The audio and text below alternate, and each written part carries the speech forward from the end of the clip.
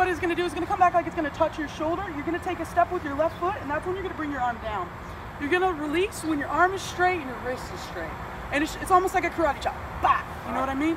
So right here, I'm gonna point, step, and throw. All right, Marty, wait. Who are you picturing on that board? Oh man. Three months of no wife and no kids, and they're finally coming in today. All right. So this is a happy throw. This is a happy act. Here we go. Job, man. I don't, like, I don't like that step. I gotta Yeah. do it my way. Yeah, and that's fine. right, so Have at it. here, and I'm gonna do it like this. correct? Yeah. All right, here we go.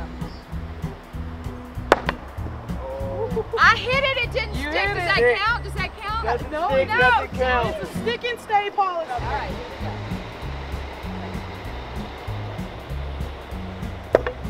Why is it not sticking? You need to be a little bit closer. closer. A little All bit right, closer. closer. Yeah, take it, take it bit. All right. Oh! That's six points. It looks like you ordered some breakfast. All All right. right, now do, show us that. Do that little show off thing you did with the underhand. The underhand? Okay, I'll, Oh I'll do it with God, this watch one. I'll do it with this one. This is crazy. Kaylee All right. Angry Axe showing skills. This is the underhand. Dang. And then I'll actually throw it from back here. This is this is a double rotation. So we'll see how that goes.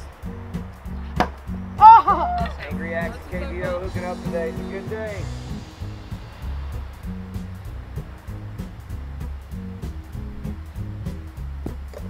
Dang it, Marty. I'm going to have to eat my Twinkies left-handed now.